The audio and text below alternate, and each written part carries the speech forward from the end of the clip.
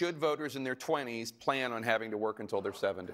They should plan on their retirement age being increased, yes. Just imagine working 40 hours a week until you are 70. If you want that life, go for it. But if you want to retire early, if you want to actually live, make sure to start investing as soon as possible. In my opinion, investing in crypto right now is probably the best opportunity for a lot of people to make their life changing money, to change their life forever. That way they are not stuck in the system working until they pass away. Over the next couple of years, crypto will provide a ton of opportunities to make life changing money. You just have to be ready for it. And don't think if you vote blue, red, yellow, green, whatever, that these politicians will help you. They're not. The only person that will help you is you if you start investing right now. So ask yourself, would you rather spend the next year or two